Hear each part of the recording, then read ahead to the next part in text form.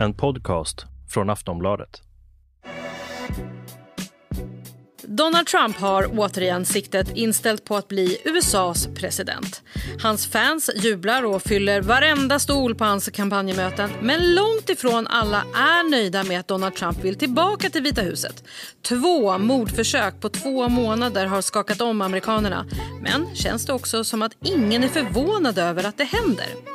Donald Trump har sedan han lämnade presidentposten åtalats för flera brott och har även dömts. Hur påverkar det egentligen hans kampanj och chanser för att vinna valet? Donald Trump pratar också om mycket annat istället för vilken politik han vill driva från ovala rummet. Måste han verkligen distrahera sina väljare för att få dem att rösta på honom? Som ni kanske har förstått i det här avsnittet så fördjupar vi oss i Republikanernas presidentkandidat Donald Trump. Jag har med mig Wolfgang Hansson, Aftonbladets utrikespolitiska kommentator och så Ronny Berggren, konservativ debattör och Trump-supporter. Välkommen till Aftonbladet Dailys USA-valsspecial med mig, Jenny Ågren.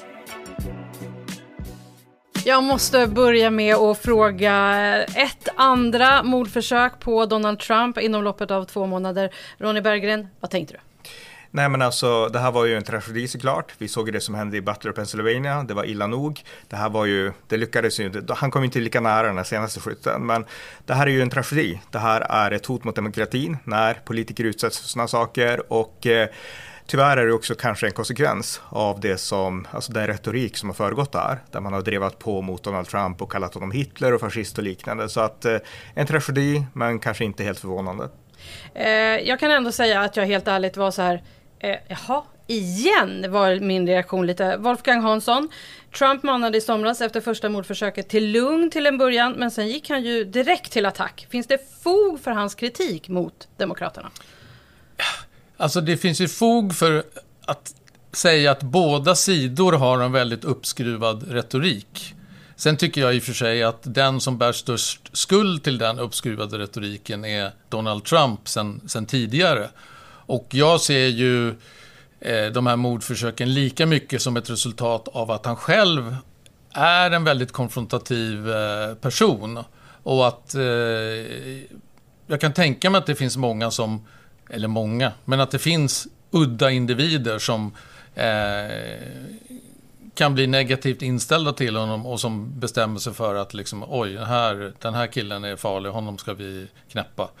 Eh, men jag håller ju med dig att det är ju, det är ju, det är ju hemskt att det ska vara på det sättet. Eh, eh, det är ju politik vi pratar om, liksom, att man, det ska ju avgöras eh, vid valurnan och, och utan våld. Liksom. Det, och nu har vi ju en situation i USA där det politiska våldet hela tiden ligger på ytan på något sätt. Och, och det är väldigt svårt att och, och, veta vad som kommer att hända.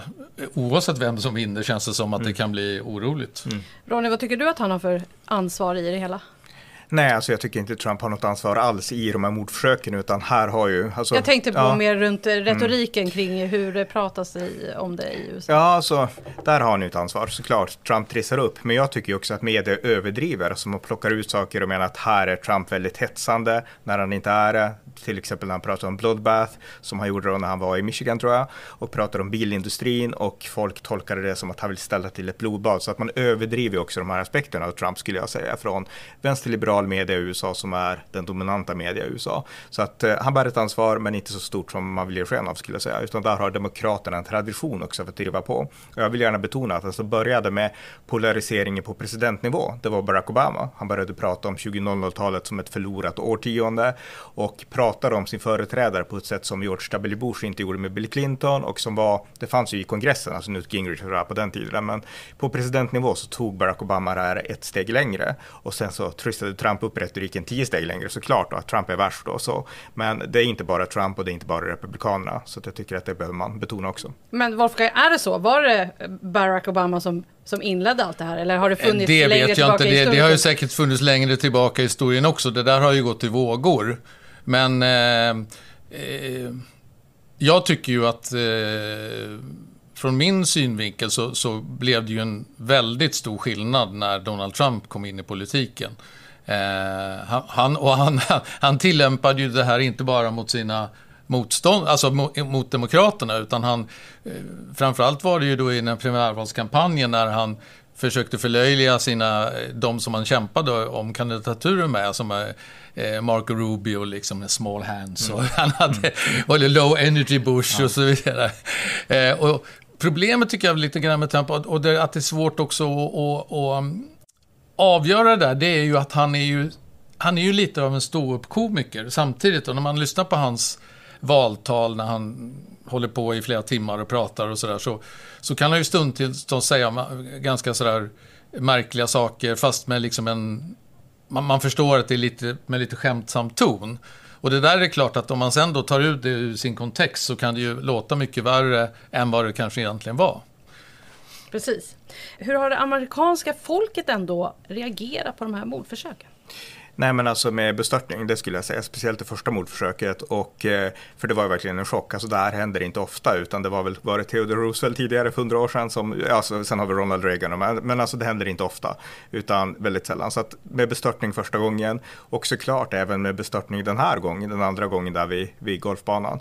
Men den här gången så har Demokraterna också ändrat taktiken att komma in på lite det som ni var inne på att ja, men är det inte Trumps egen retorik som har på något sätt lett fram till det här? Så pratade man ju inte efter Butler, Pennsylvania. Så att man har lagt om taktiken lite grann och insett att Trump gynnas av alla sina motgångar, även mordförsök. Och det vill man inte nu när man är inne i slutskedet av valet. Så att en ny taktik, men, men ändå i grund och botten avsky, därför att det här är ju oacceptabelt oavsett vilken politisk kant man står på. Mm. Och Wolfgang, både Biden och Harris var ju snabba ute med att fördöma dåden. Hur hur viktigt eh, var det att de gjorde det? Det tycker jag är väldigt viktigt. Eh, det är ju, det är ju ett sätt att försöka dämpa den här retoriken. Det är ju liksom att man visar att även om vi är politiska motståndare så, så tycker vi inte det är acceptabelt när man försöker ta död på varandra. Eh, vilket borde vara rätt självklart. Men jag tycker det i, i det uppskruvade läge som är i USA så, så är det väldigt viktigt att man, att man gör det och oförbehållslöst så att säga. Mm. Biden ringde ju även till Trump och Trump sa ja. att han var very nice. Ja, ja men det, var, det, det tycker jag var väldigt bra. Det var väldigt bra gjort att han gjorde det. Mm. Eh, vi kommer i det här avsnittet, som ni kanske förstår, fokusera på Donald Trump, ex-presidenten som försöker få eh, tillbaka nycklarna till Vita huset i Washington ytterligare en gång. Donald Trump, han verkar ha kämpat i månader men nu vet vi också vilket smeknamn som han har på Kamala Harris.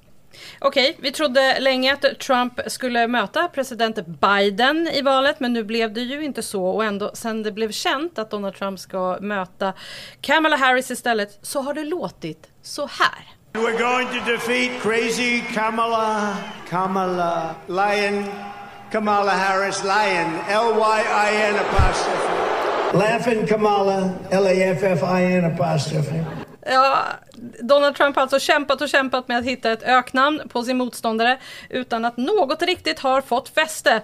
Vi minns alla Sleepy Joe och Crooked Hillary. Och det kan ju vara så att han kanske har blivit lite stressad när han och parhästen JD Vance eh, började bli kallade för weird, alltså konstiga av Demokraterna. Men nu verkar det som att han har bestämt sig. I call her comrade, comrade, comrade, comrade. Kamala. Comrade. Kamala Harris. Comrade. Kamala Harris. Comrade, alltså på svenska kamrat, ett eh, tilltalsord som är vanligt bland socialister. Det här är alltså ytterligare ett sätt för honom att måla ut Kamala Harris som vänsterextrem. Wolfgang, är det här ett effektivt smeknamn på henne? Eh, ja, ganska bra tycker jag ändå. Eh, jämfört med de andra som man har provat så känns det ändå som att det här eh, har fått en viss traction eh, hos folk. Så att eh, ur hans synvinkel så tror jag att det här är ett ganska bra att liksom försöka utmåla henne som eh, vänster. Han kallar henne marxist med jämna mellanrum också. Eh, och det, det är ju väldigt vanligt i USA att man skrämmer folk med att man är, om man är kommunist eller socialist eller marxist så är man liksom väldigt konstig. Och att eh, även om det inte finns så mycket fog för att kalla henne eh, just det så, så eh, tror jag nog att det är så länge han inte kommer fram någonting bättre så tror jag att det kommer att funka. Mm, Ronny, vad tycker du? Nej, men jag tycker det är roligt. Alltså det, det är liksom, det är ju kul, Kamrad i Kamala och eh, ändå kopplat lite till vissa sanningar. Men hennes pappa var marxist, han var lärare på ett universitet och eh, det finns ju hennes politiska förslag. Hon har föreslagit Medicare for all istället för Obamacare så att det finns ju socialistiska inslag i, i politiken också och när man skämtar med det som ändå har bottnar i verkligheten så blir det roligt. Så att jag tycker att av allt han har testat så är det här bäst. Då får vi se Det får säkert fäste nu då kanske. Vi fördjupar oss alltså i Donald Trump i det här avsnittet. Donald Trump är 78 år gammal, född i New York, har en kandidatexamen i nationalekonomi, har varit VD för sitt egna Trump Organization, programledare i TV och affärsman. Han är gift med Melania Trump, han har fem barn, han har tio barnbarn. Hur hinner han med att köpa julklappar till alla undrar jag. Eh, Trump är också unik att som enda president ställts inför riksrätt hela två gånger och kan också bli historisk om han vinner genom att vara den första presidenten att ha två icke på varandra följande mandatperioder sen Grover Cleveland på slutet på 1800-talet. Han dricker inte alkohol, han är invald i World Wrestling Entertainment Hall of Fame. Han har en stjärna på Hollywood Boulevard, är rädd för hajar och hans favoritfilm är klassikern Citizen Kane. Han har en egen vingård i Virginia. Har ni druckit hans vin? Nej. Nej. Inte? Det har jag. Jag tror jag har druckit eh, Coppolas vin, men jag har inte druckit måste, Trumps vin. Du måste testa när du är i USA. Ja, det får vi prova. jag får först ta reda på exakt vad det går att få tag på. Ja, men eh, det verkar finnas en hel del och om man kollar på hans Trump-bar på, i Trump Tower, där finns det också otroliga drinknamn som The Don och massa sådana grejer. Spännande tycker mm. jag. Eh, vi ska fokusera på att han distraherar det offentliga samtalet i USA.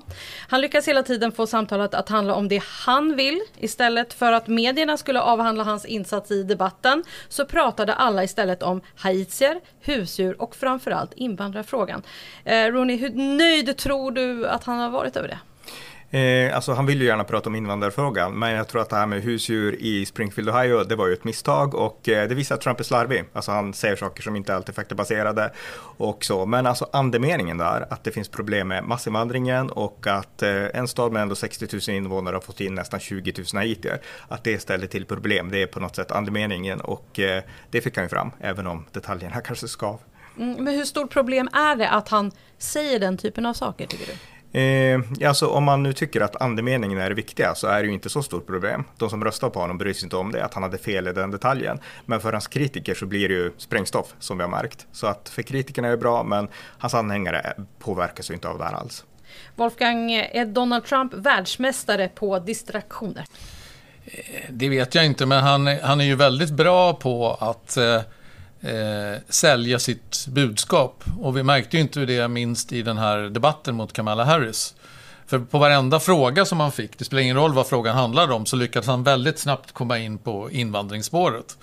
Och invandringen är ju eh, kanske hans bästa fråga, möjligtvis ekonomin också, men invandring är ju det som han kan vinna valet på.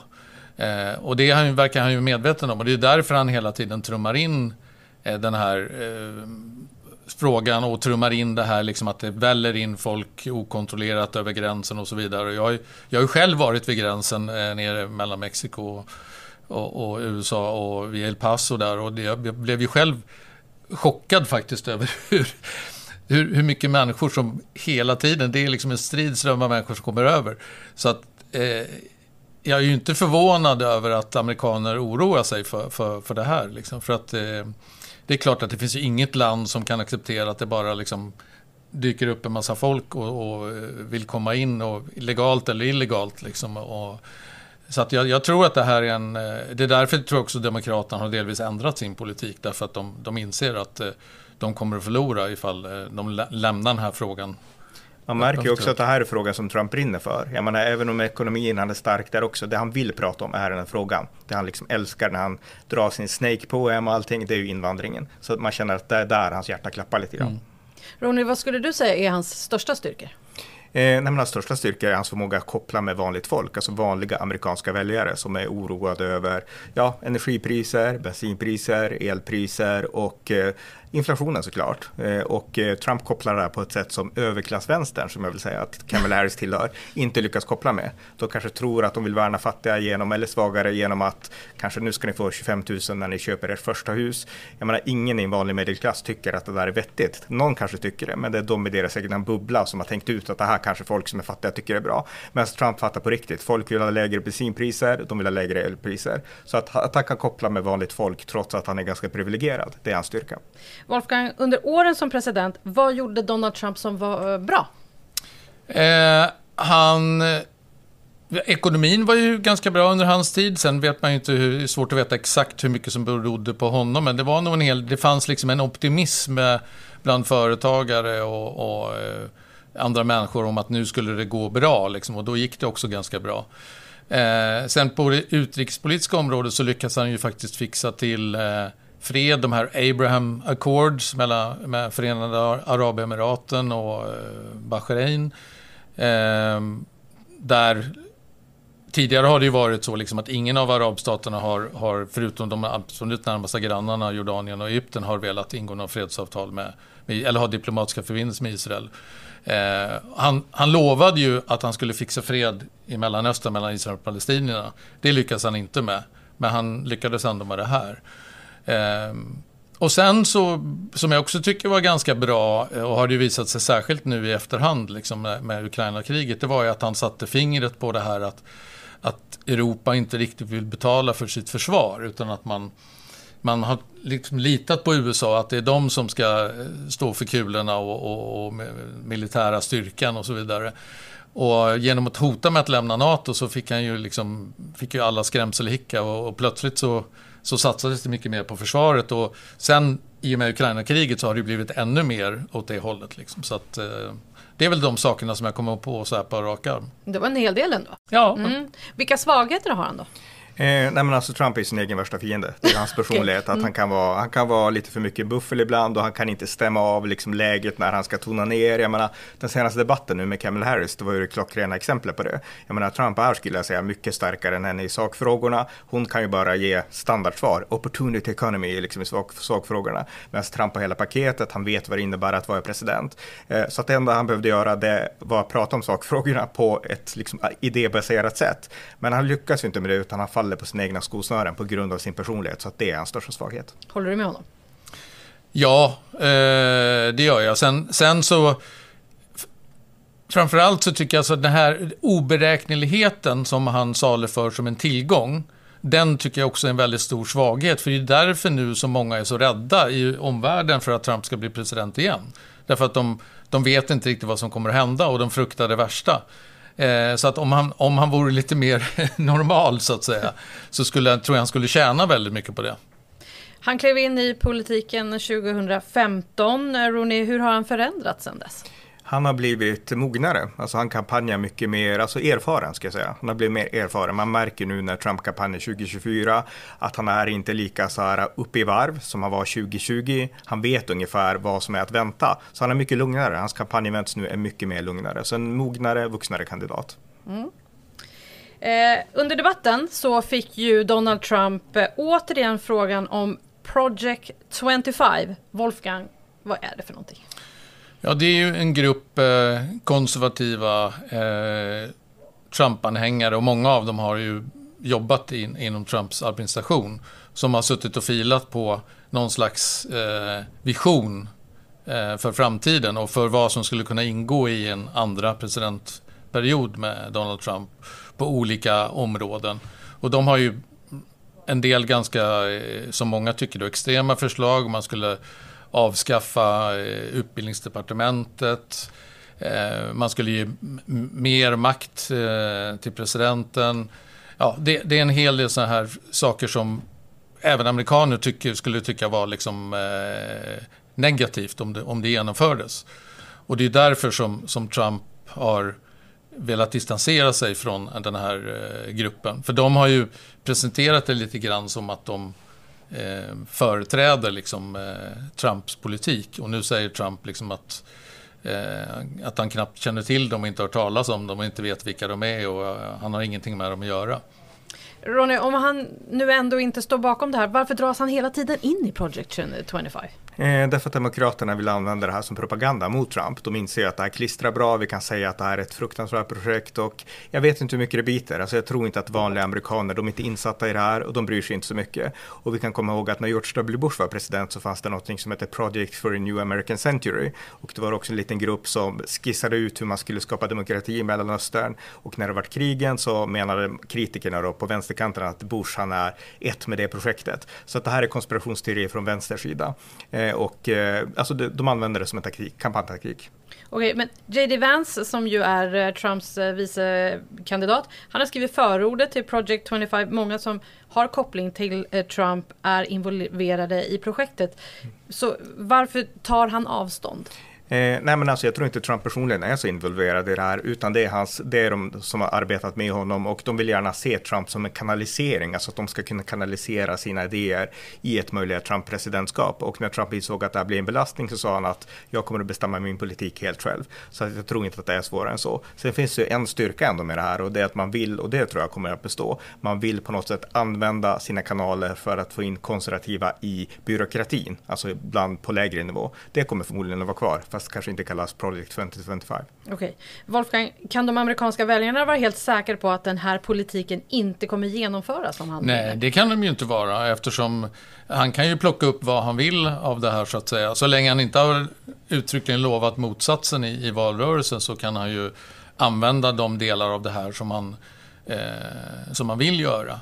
Och eh, det är väl liksom de som ligger bakom det här, de vill väl liksom att de, de vill att det ska finnas en mer en, en, tydlig inriktning för honom. För att det var ju mycket det som var kritiken under hans första period, att han inte var tillräckligt förberedd, att det tog lång tid att sätta igång alla grejer. Och här har ju de liksom en, en färdig plan som de skulle vilja att han följer i, i vissa delar i alla fall. Och det, och det skulle göra att han då eh, mycket snabbare kommer upp på banan och kan sätta igång och styra och genomföra sina förslag. Mm. Där tror jag att han, jag menar nu har han erfarenheten så han kan nog komma igång snabbare i alla fall oavsett Project mm. 22, tänker jag. Så är det säkert. Det har varit ett gäng åtal mot Donald Trump de senaste åren. I våras dömdes han bland annat för att ha förfalskat dokument för att dölja att han betalade porrstjärnan Stormy Daniels så kallade hush money. Domen kommer dock inte att meddelas förrän efter valet i november. Wolfgang, hur har den här domen påverkat Donald Trump? Ja, hittills har den ju inte påverkat honom särskilt negativt på det sättet att han, han, hans opinionssiffror har ju, om, om, det, om det har gått i någon riktning så har det ju snarast gått uppåt så att säga. Sen har det ju påverkat honom på så sätt, han har ju, i den här rättegången så satt han ju faktiskt med under ganska många dagar och eh, fick sin byk offentligt eh, tvättad. Även om man inte fick ha några, några direktsändningar eller kameror in i, så var det ju ändå att det kom ut en massa detaljer om det här som liksom drogs igen. Och det var kanske inte så kul eh, för honom. Men eh, märkligt nog så verkar det inte eh, eh, påverka väljarna i någon större utsträckning. Liksom. De verkar vara okej okay med att eh, en, en dömd person, eh, även om det nu inte är ett särskilt allvarligt brott kanske, en dömd person kan bli vald till president. Och sen ska man ju komma ihåg att det är ytterligare tre åtal som, som väntar på honom, så att säga, som jag tycker alla, alla tre är betydligt allvarligare och som inte kommer att avgöras Eh, innan valet. Och kommer han att bli vald så kommer de, åtminstone två av dem kommer förmodligen att läggas ner. Eh, så att eh, ja, jag, jag, jag trodde för, för ett år sedan, eller för ett halvår sedan, så trodde jag nog att de här rättegångarna skulle vara ett mycket större belastning för Donald Trump än vad det har blivit. Han har varit otroligt skicklig och hans juridiska stab på att överklaga och förhala och skjuta allting framåt. För att liksom få det till att ha valet först och rättegångarna sen. Och då beror det ju på vem som vinner valet, om det blir några rättegångar eller inte. Ronny, nu är Wolfgang inne på det här med att det inte har påverkat eh, det amerikanska folket särskilt mycket vad man kanske tycker. Men hur påverkar det här det republikanska partiet? Eh, nej men det, de har blivit mer lojala med Trump. Alltså vi kan säga att när Trump pålyste sin presidentkandidatur direkt efter mellanårsvalet 2022 eller i samband med det. Eh, då var det nästan inget intresse för Trump att han ens pålyste en kandidatur utan då tänkte man Ron DeSantis är den starka stjärnan och så vidare. Sen så kom de här åtalen. De hade, det hade ju hänt en FBI-räd tidigare mot Mar-a-Lago men sen åtalen började komma och Trump sa att det är en häxjakt. Då sa alla republikaner att han har rätt och sen så tappade alla andra kandidater stödet och partiet slöt upp bakom Trump. Så att det har starkt honom utan tvekan. Så de ser inte här att det är något problem? Nej, nej, nej, utan de ser det här som en häxjakt, som lawfare som det kallas. Wolfgang, om han vinner valet och påföljande domen skulle bli fängelse, för han kan ju dömas till fängelse, vad händer då? ja. Ska vi sätta, är det, ska han ha fotboja i Vita huset? Han, han, kommer ju inte åka, åka in i, i, i, i fing... Alltså, för det första så kommer ju, när domen kommer då den 26 november, sen ska den ju då eh, vinna lagakraft så att säga. Så att då hinner det väl, jag, jag, kan inte det i detalj, men jag föreställer mig att han då hinner bli president innan och då kommer han ju definitivt inte att, att, eh, behöva sitta i fängelse om det nu skulle bli så att han, att han döms till fängelse. Åtminstone inte under tiden han är president. Men kan han benåda sig själv? Ja. jag, jag, jag, kan faktiskt inte svara 100%. Eh, jag tror att han kan det, men jag är inte 100% på om, om... För att han... Eh, domen har ju kommit innan han har blivit president. Men ja, jag skulle, jag skulle tro att han kan benåda sig själv. Mm. Vi får se vad som händer när domen kommer helt enkelt. Eh, Rooney, om vi ska vara konkreta. Vad vill Donald Trump göra om han blir president igen? Det säger han på varje kampanjrally. Han vill göra America Great Again. Och det innebär att han vill att ekonomin ska bli bra, som han menar att den var när han var president. Det innebär att han vill skapa lag och ordning på gatorna. USA är tyvärr ett väldigt laglöst land idag. Eh, och ställa upp gatorna också, Washington DC och liknande. Han vill stänga gränsen och starta den största massdeporteringen i amerikansk historia. Och på, vis, på så vis göra USA lite mer amerikanskt igen. Så att han är väldigt tydlig med vad han vill. Väldigt konkret faktiskt. Mm. Eh, det finns experter i Sverige som tror att demokratin inte kommer överleva i USA om Donald Trump väljs till president igen. Wolfgang, vad säger du om det? Ja, alltså det finns ju sådana farhågor. Sen vet man ju aldrig eh, vad som kommer hända om han nu blir president igen. Eh, det kan ju hända att han blir eh, som en mer normal president i sin andra period.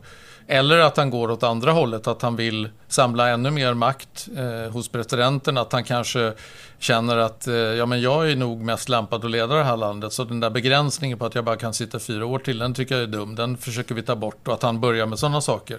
Men jag tycker det är väldigt svårt att bedöma eh, vad som kommer att hända. För att eh, det är så mycket styrt av hans egen person, av hans egna infall och vad han liksom känner kommer att vara rätt att göra. Men jag förstår att folk är oroliga.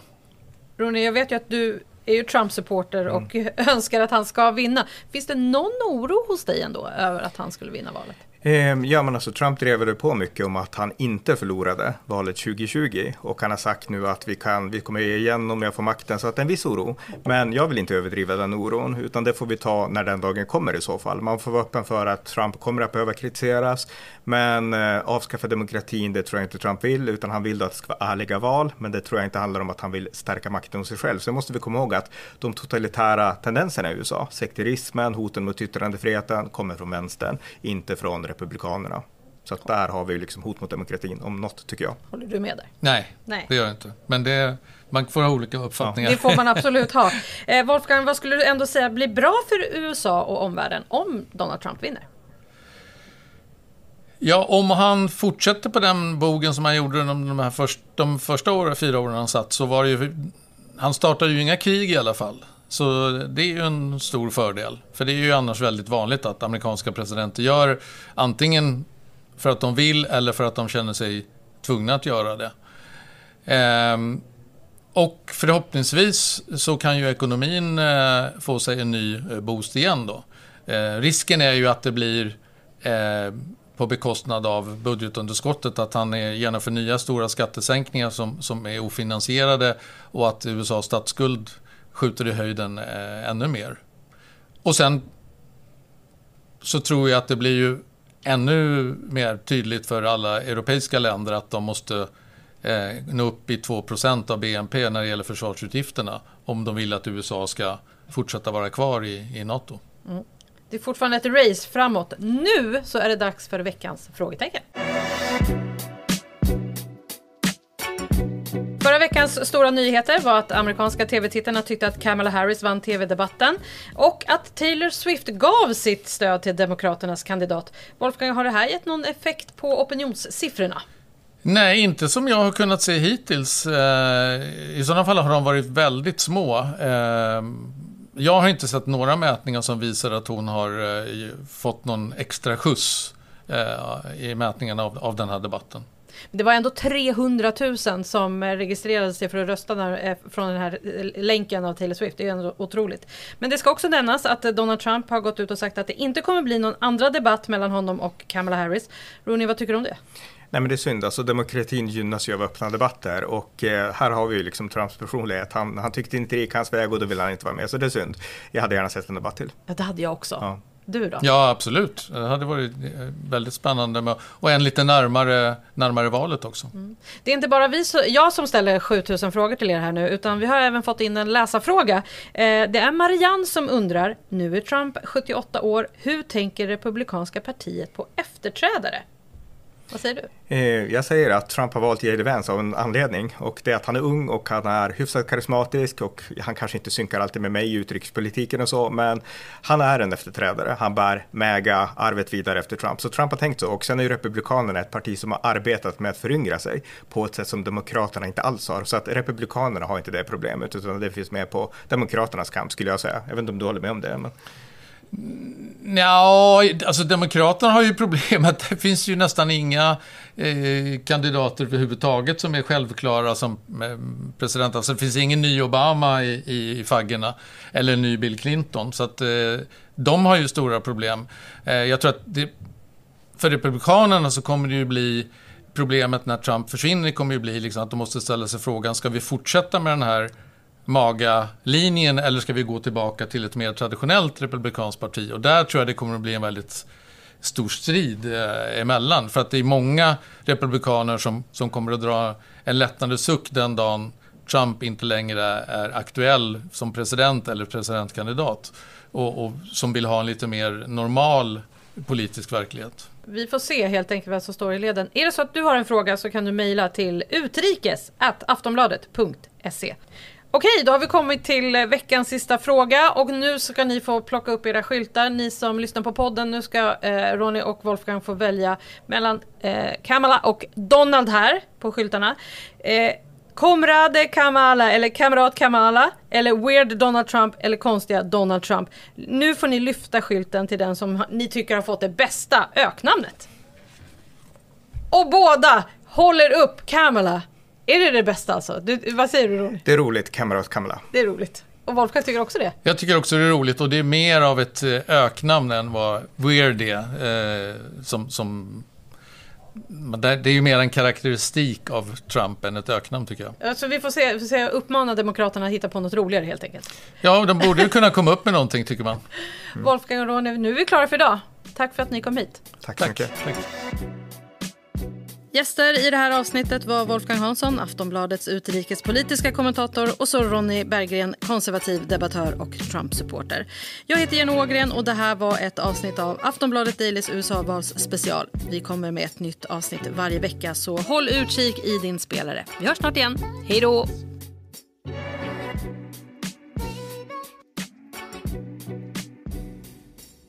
Du har lyssnat på en podcast från Aftonbladet. Ansvarig utgivare är Lotta Folker.